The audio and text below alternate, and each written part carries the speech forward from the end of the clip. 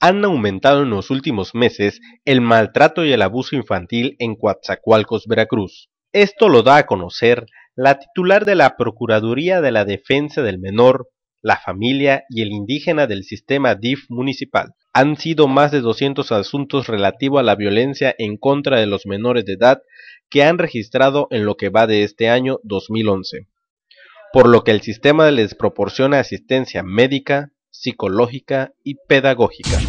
Mira, en todo lo que tiene que ver violencia ha, aumentado, lamentablemente, en lo que fue la administración empezamos con poquitos asuntos, tenemos varios, más de 200 asuntos.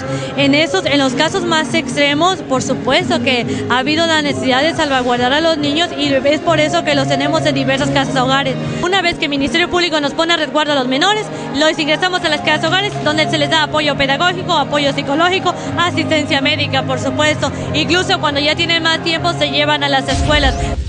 Respecto al abuso sexual de los pequeños, se tiene un registro de alrededor de 80 casos en este año, y comprende a los padres de familia estar atento a los cambios repentinos de personalidad de sus hijos porque pueden ser víctimas de estos actos por parte inclusive de sus propios parientes. El último mes no he tenido un asunto, pero en los anteriores sí hubieron muchos. Además tuvimos cinco asuntos muy importantes, muy relevantes en el sentido de que, bueno, incluso una de las niñas ya estaba embarazada de su propio papá.